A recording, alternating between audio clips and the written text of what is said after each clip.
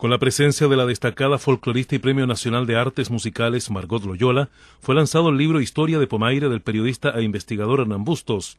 En la ocasión, fue aprovechada para reconocer la trayectoria de Margot Loyola por parte del alcalde Mario Gebauer, quien donó a la nonagenaria estudiosa del folclore una hermosa pintura que retrata a la vieja alfarera Teresita Muñoz, y agradeció lo mucho que le entregó a esa localidad de la comuna de Melipilla.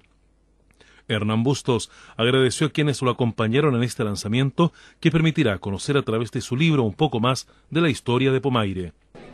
Eternamente agradecido por eh, la cantidad de gente que llegó, por la señora Margot Loyola, por el señor alcalde, por los concejales que respaldaron este trabajo, por Waldo Cay, por mis amigos Horacio Hernández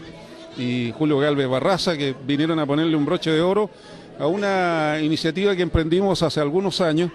pero que se corona gracias a algunas voluntades también a don Jorge Villarroel, que le ha donado a la comunidad de Pomaire este libro en forma gratuita, una edición de lujo como la merece Pomaire, porque es un pueblo que le ha dado mucho prestigio a Chile y merecía, por tanto, una obra de este nivel, aunque los contenidos, por cierto, están expuestos a la crítica y con justa razón, pero de todas maneras eh, creo que hemos cumplido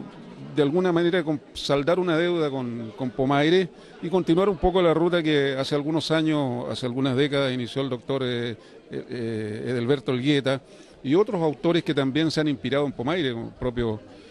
Pablo Neruda, con, naturalmente con, la distancia que tiene ese enorme poeta respecto al modesto trabajo que uno puede hacer y que también llevan en, en el, llevaron en el corazón a Pomaire, lo mismo que Gabriela Mistral.